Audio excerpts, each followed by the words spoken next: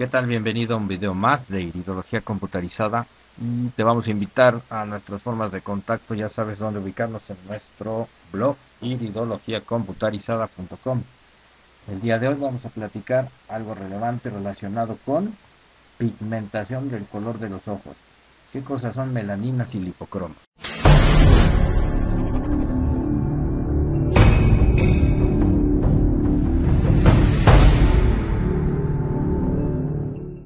Gracias, un video más de iridología computarizada. Vamos a platicar sobre la pigmentación del color de los ojos con un único objetivo. Vamos a entender el genotipo y el fenotipo iridiano en base a la pigmentación de la cama iridiana, porque hay una serie de mitos y distorsiones respecto a, por ejemplo, que existe un pigmento azul en el color de los ojos, lo cual es una idea errónea. Vamos a entender primero esto a partir de dos componentes pigmentarios que son las melaninas y los lipocromos. En base a esta infografía vamos a entender que los tipos son aquellos relacionados con melaninas y lipocromos y los cuales hay una subdivisión. Hay una melanina amarilla y hay una melanina oscura, las cuales se van a reconocer con los siguientes nombres. A la oscura la vamos a llamar eumelanina y a la melanina amarilla la vamos a denominar como feomelanina.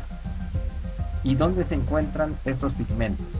En el caso de la eumelanina, que es la más oscura, seguramente la puedes encontrar dentro de la cama iridiana en el epitelio anterior y en ocasiones la vas a encontrar en otras áreas de, tu cama iridiana. Pero en el caso de la feomelanina, la puedes ubicar disgregada dependiendo del código genético que cada cromosoma traiga a través de los alelos tanto en el epitelio anterior, en el epitelio posterior e incluso en el estroma.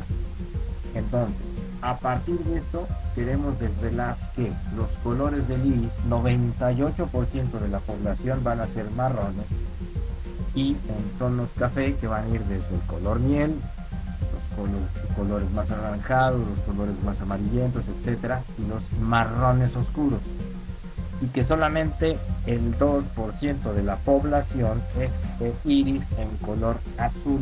Esto estamos hablando a nivel genético. Tenemos entonces aquí unas iridografías que nos van a mostrar precisamente la distribución de dichos pigmentos. En el caso de los pigmentados más oscuros, obviamente, y la conclusión es que los pigmentos más oscuros relacionados con la eumelanina están presentes porque están totalmente en la parte inferior, es decir, en la cama posterior. Y muy seguramente estas estructuras van a dar esta apariencia. Más aparte, la estructura del tejido. Siguiente ejercicio. En este, en este aspecto ya no son tanto los pigmentos oscuros, es decir, la eumelanina no está tan presente y en el código genético hay una participación de feomelanina, es decir, la melanina con el color amarillento.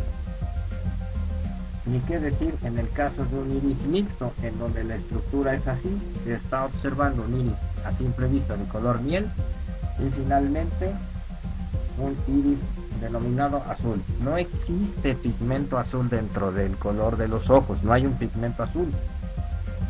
Entonces la gente, si hubiera un pigmento azul, la gente tendría cabello azul, tendría piel con tonalidades azuláceas. Lo que sucede es que aquí el código genético relacionados con los lipocromos y las melaninas colocan a dichos pigmentos en la parte posterior de tal manera que la percepción la percepción cromatográfica por la incidencia de la luz hace que se vean azules. Te invitamos a practicar iridología computarizada de manera profesional, sin mitos, sin distorsiones y sin vicios. Ya sabes cómo puedes contactarnos a través de nuestra página web o a través de WhatsApp. Gracias y hasta la próxima.